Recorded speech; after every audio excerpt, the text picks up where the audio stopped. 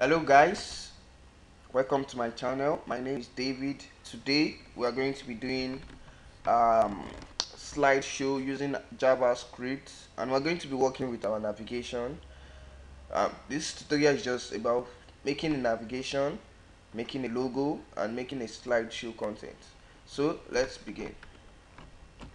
I'm going to start with my normal HTML format and today since we are doing we are dealing with slideshow and navigation I can just give it a title of a web. I don't know. It just came to my head. So in case just to be in case let me write my style tag down so I'll be able to style it. And let's start with our header. Since the header contains information um, about our navigation about our navigation system about our logo. So let's just create an a header tag. And within the header tag we need a div to collect our logo. And I want to give the div a class of logo. We are going to be creating a logo. And yes the next thing is we need our navigation menu. So I use my nav tag and we need an unordered list and list item. Uh, okay. So I need to duplicate this element. So I name this my home. This should be about this should be um, services.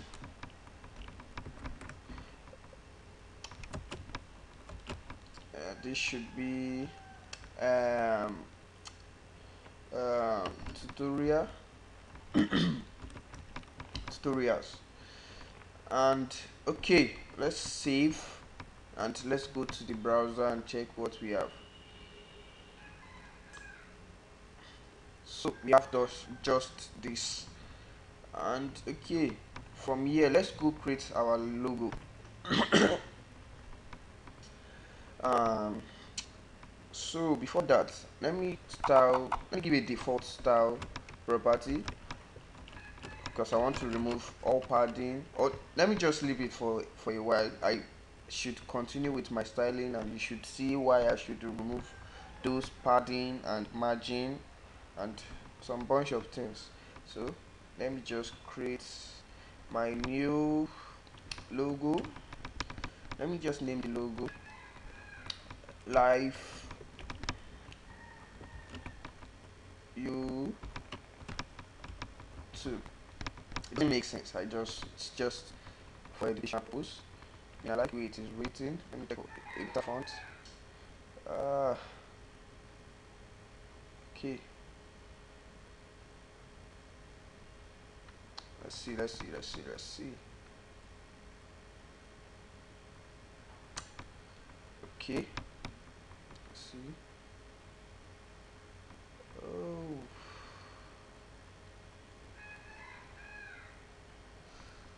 Let's just leave it like this. Oh, uh, moreover let me just give it some little little style. Uh, I think this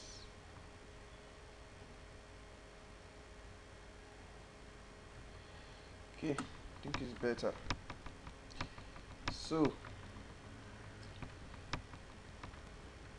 so let's export it.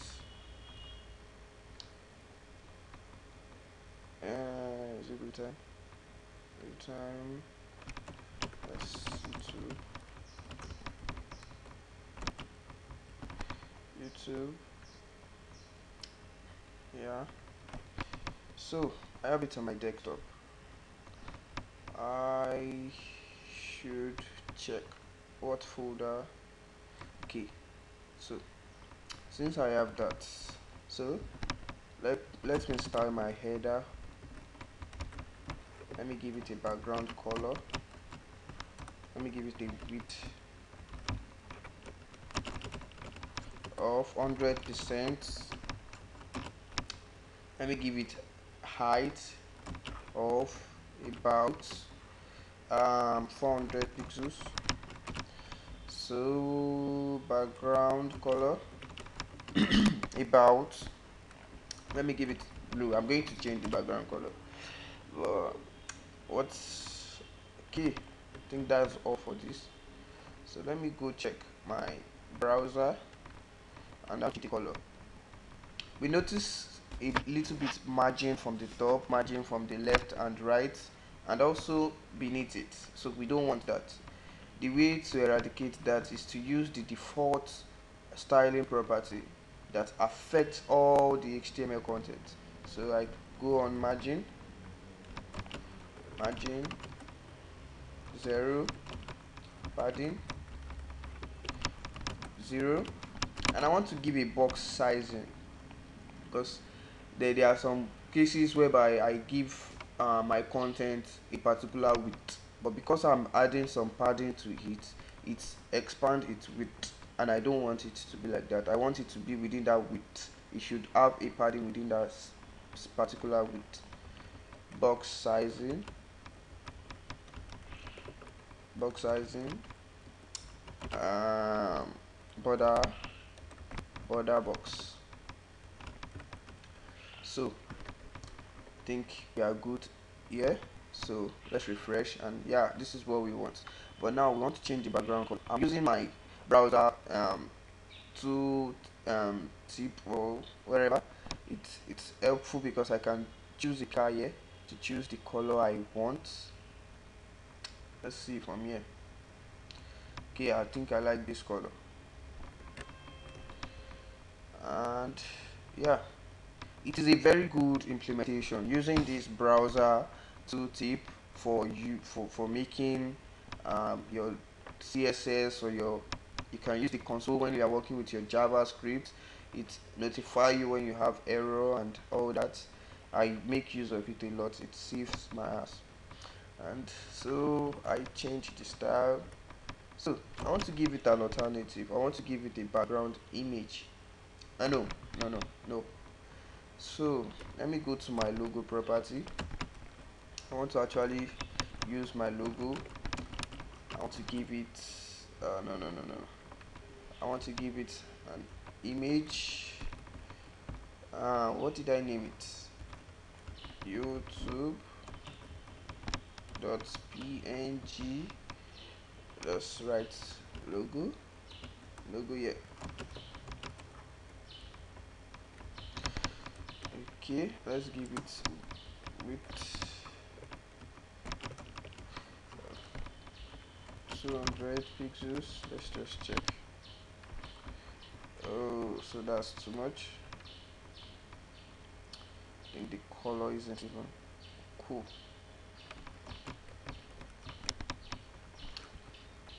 Uh, oh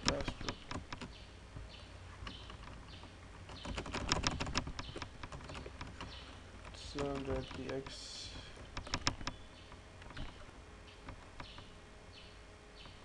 so I need to change the background color because of the logo. Let's see what can we use. Let me see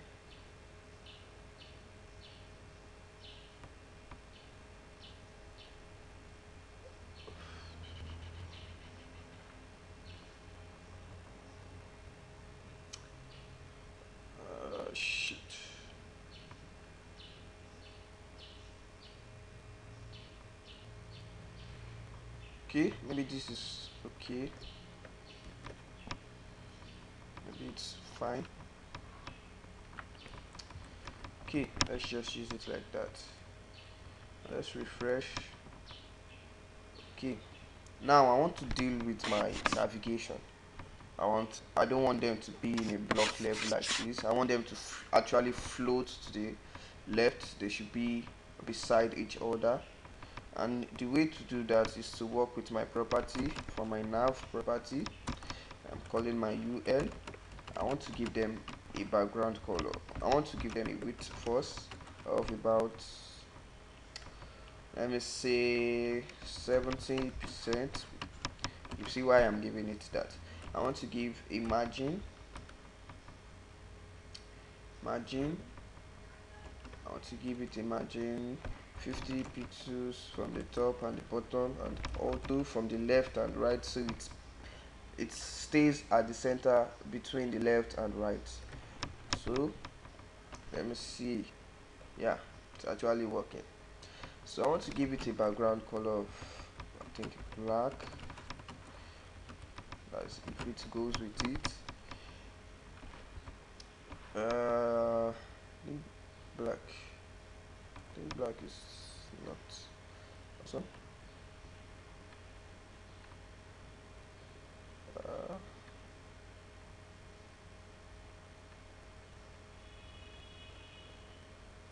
oh. change this cool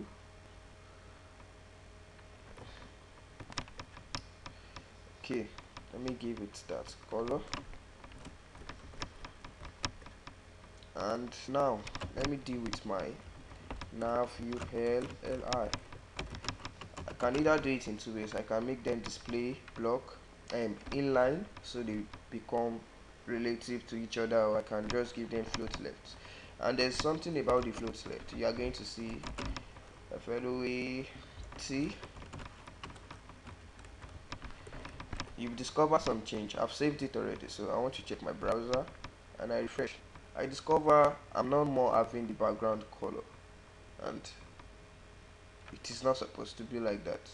So the way to fix this is to go to the UL and actually put an overflow hidden that is I should hide anything that is overflowing. And this is because the list item is now floating on top of the unordered list and the unordered list is not seeing any content within it. So it assumes it has no content. So and since we didn't give it a specific height and it is meant to um, take the height of the list item so it's assume it has no child. So we can do it in two ways. We can either use the clear fix but for this tutorial I'm going to be using um, overflow hidden and let's go check let's check if it actually works. Yeah it actually works. So now the next thing is let's remove the list style. None. And let's give it each individual width of think 100 pixels maybe. Maybe it's too much. Okay. So now we discover if we should give it color. C L O. A color let me say white. It won't work. Why? Is because uh, the text is in between the anchor tag. And we have to design it from the anchor tag in order to give it a color. And we have to remove this underline style this text decoration. And let's just do that. I have my nav I have my unordered list I have my list I have my anchor so I make my color white and let me give it a padding about 10 pixels. And text decoration. Like I said I want to remove the decoration. I don't want any underline. I want nothing. So I give it a none. Check. So it's like the padding isn't working. Why? Because um, the anchor is is working. Okay. Display. Let's make it display block. That is it should take all the environment of the list item. Let's see does that fix it? Yeah. You could all it could also come here and see display inline just case so yeah. So the only little thing we need here is just to give it when I hover over it I want some I want a border bottom. So I go I actually take this property copy it paste it then on over. I want to give it a border bottom of one pixels solid white. And let's just check let's check let's check. Okay when I over it yeah I have my and for the logo let me just give it a margin from the top. Margin top. Uh 20 20 20 px margin. Left. 40 so so this is the work of overflow. So from the header we set our overflow to be hidden. Okay I think it's nice like this. And now we are through with our navigation menu. The next thing we want to do is our slideshow. We will actually have that from our HTML content inside the same header we want to give a div that actually uh, let's give it a class. Div that we actually hold some content we want to animate in a slide way. Um, slide. So we have our h1 so our h1 that let's let's give it an id let's give it text. And yeah let's just write some generic len to animate your css image. So I just drop in a general text. Okay we want it to be in the middle.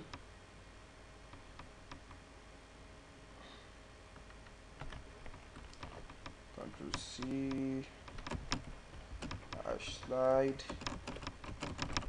Let's give it width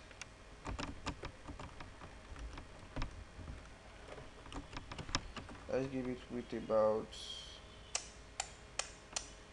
40 percent. I think it's too small. Let's say 50 percent. And then margin. 10 pixels from the top and the bottom and auto.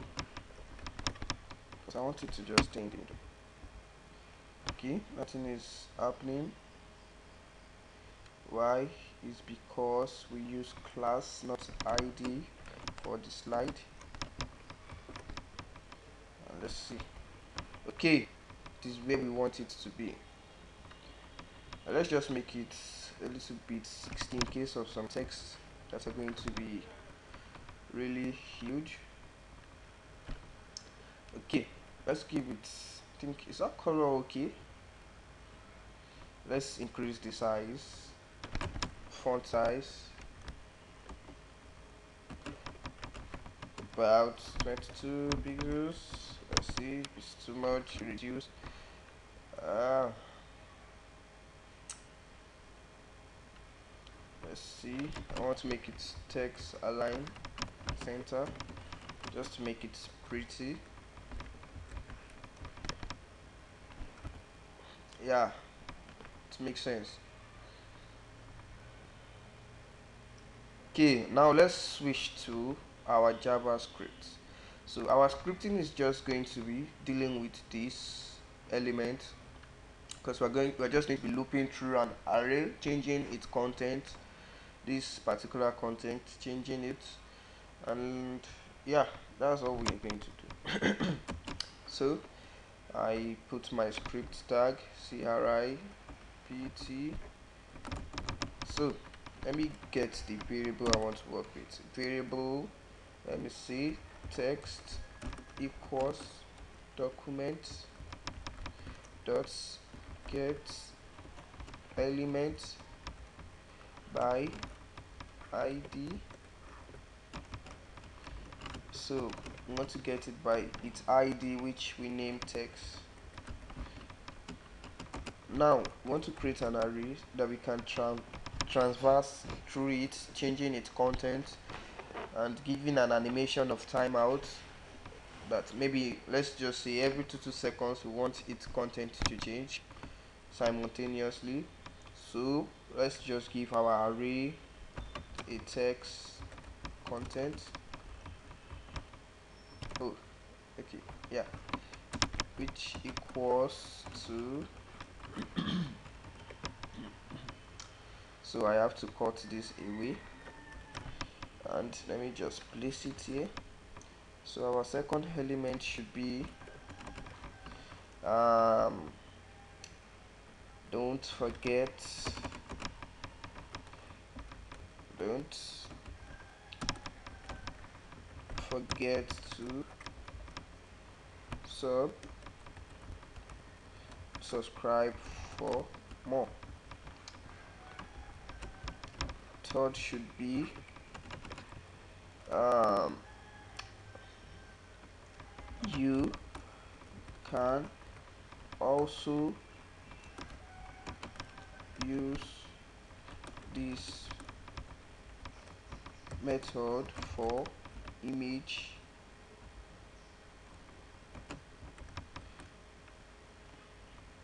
slide. Let's just say uh, uh, Java script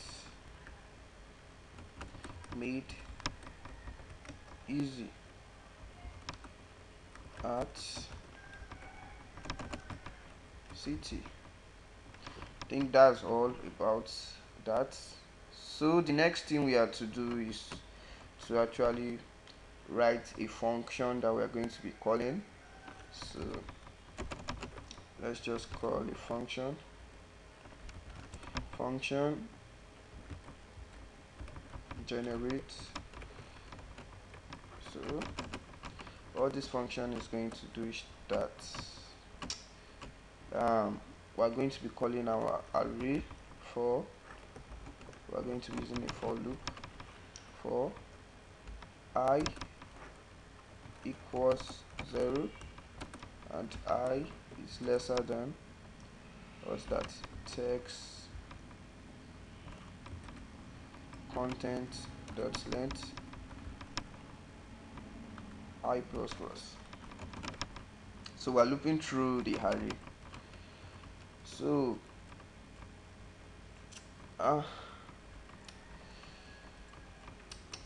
thinking of using an if statement thinking this should be too complex for some people. Let me just use my if statement. If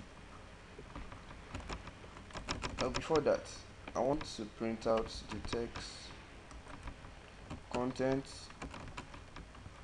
high and say oh no no no no. Okay. I have to append it to text dot inner HTML equals that. So after that I now need an if statement. That is if if um,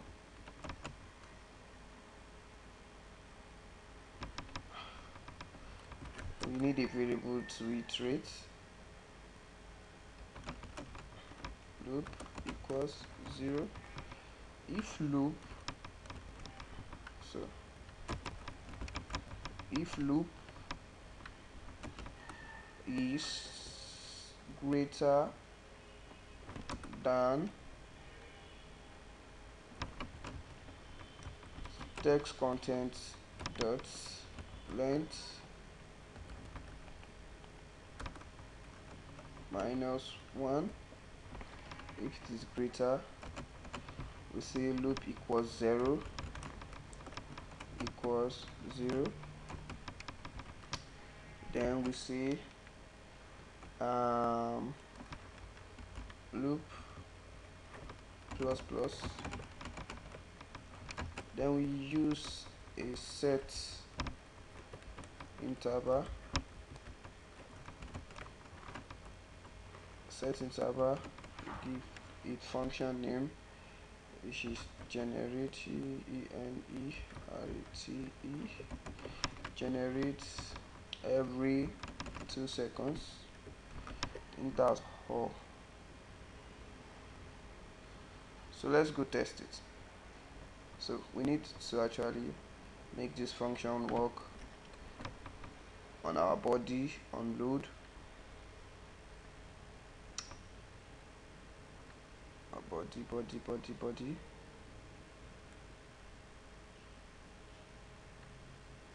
On load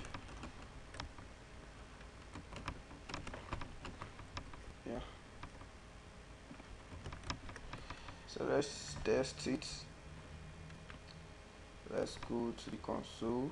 Okay generate is not defined. So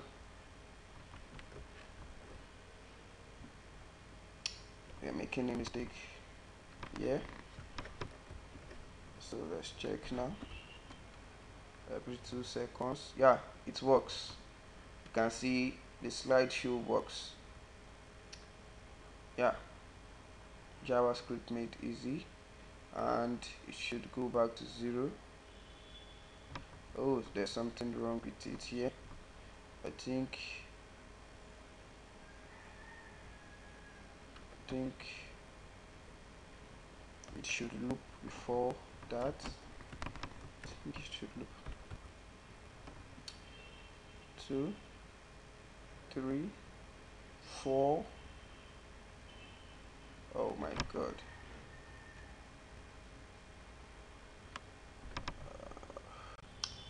So so so so so. Okay. We need we, we need it to loop first before actually calling this if statement because if we should call this if statement it will go like this. When it increased one it comes here. When it eventually becomes greater than the length of uh, our array it becomes zero and it's increased by one it becomes one and it display this other message which is not what we want. And we would just want to put it after the loop.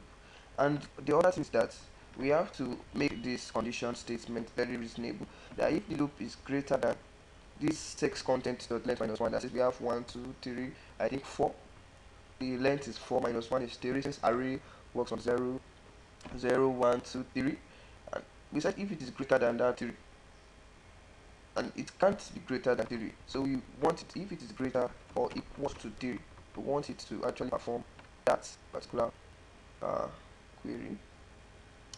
So what's wrong? Okay. Don't forget to subscribe. Learn to animate your css don't forget to subscribe for more. So there's something wrong. It's not actually treating through all the loop. Let's see. One two three. Javascript made easy.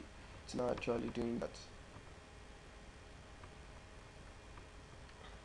One two three.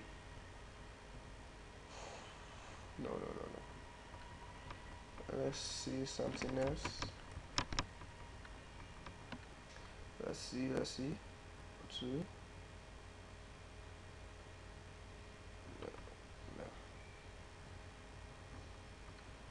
okay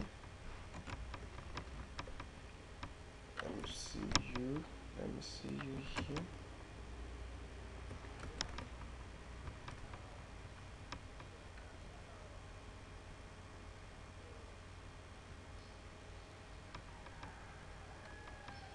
no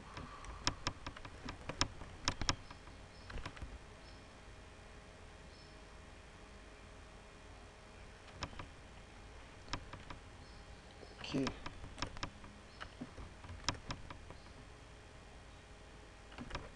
let's just bring this down here. Let's see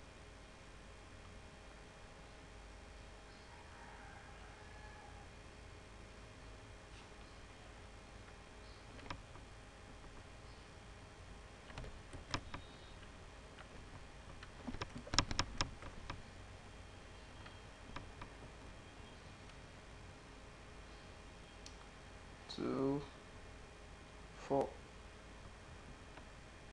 So okay I found the bug. It was because I used the equals to so it's actually um, cutting the loop when the loop is equals to the text content dot length which is 3 it is actually cutting it when it gets to 3 that's why the, the javascript isn't working. That's why it, it, it isn't showing the javascript message. This javascript made easy and thank you guys for watching. I know this has taken a lot of time and i'm sorry for that. Don't forget to subscribe and share this video to your friends. Thank you